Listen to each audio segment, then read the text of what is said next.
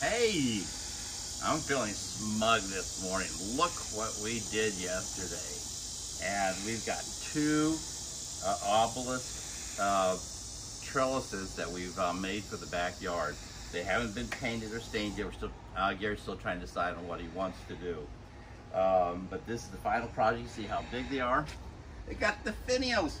It's got the, the form.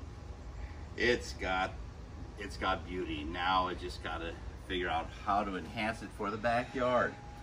Um, these things are uh, were uh, were were fun to put together, um, but we went ahead and um, they said just staple everything together. But we put uh, finishing um, uh, screws in there in the back so um, it would hold up the weather with the violent Kentucky weather.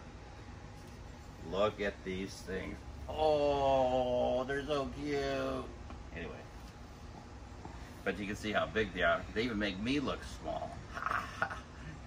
anyway, uh, we'll decide on what we're gonna do for uh, painting, or I should say, but color Gary wants, and I'll go ahead and um, and do it. Uh, so uh, we're going to be getting to other things um, throughout the rest of the uh, summer.